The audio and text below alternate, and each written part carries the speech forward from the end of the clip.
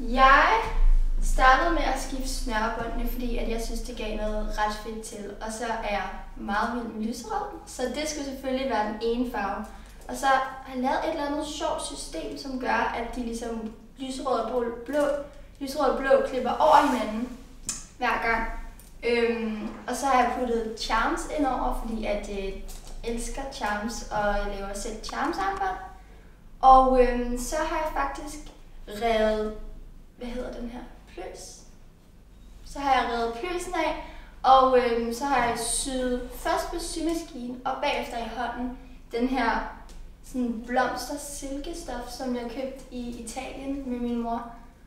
Og bagefter det, så synes jeg, at der manglede lidt på siderne, så jeg tog noget sneakermaling og malede med den tyndeste pensel, øhm, jeg havde, for ligesom at gøre det helt præcist. Og så malte jeg inden for synlingerne, for at gøre det lidt øh, meget præcist.